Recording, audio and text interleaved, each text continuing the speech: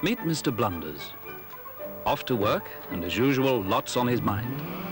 The sort of chap you could bump into at any time. I don't know how she does it. I mean, how can anyone spend that amount of money? What does she do with it? Must be sending food parcels to her mother. Petrol. Let's get some petrol. Oh, no. I've just remembered her mother's coming this weekend. Blooming women, who needs them? Ah, you, I say.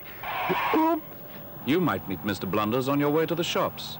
And no matter how well you think you know the road, no matter how sensibly you drive, Mr. Blunders could be round the next corner. That's why you should always wear your seatbelt.